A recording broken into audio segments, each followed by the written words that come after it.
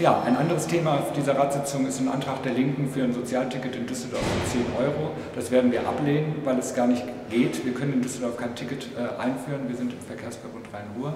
Da haben Grüne aber schon äh, seit zwei Jahren sehr massiv gearbeitet für ein verbundweites äh, Ticket für Sozialhilfeempfänger, für Hartz-IV-Bezieher, für ähm, Wohngeldberechtigte, also auch die Geringverdiener.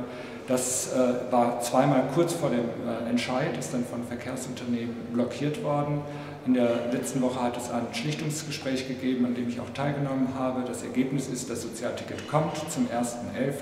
für 29,90 Euro in der Preisstufe A und äh, ist erstmal befristet bis Ende äh, 2012. Das wird dann evaluiert und wir hoffen auf eine Fortsetzung und dass es endlich ein Erfolg wird, den wir gemeinsam durchgesetzt haben.